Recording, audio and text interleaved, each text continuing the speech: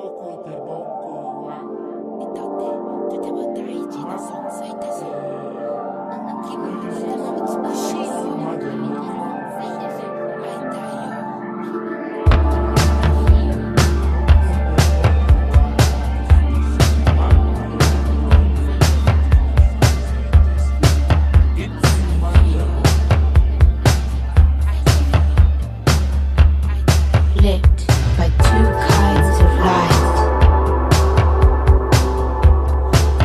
two opposing souls. She could choose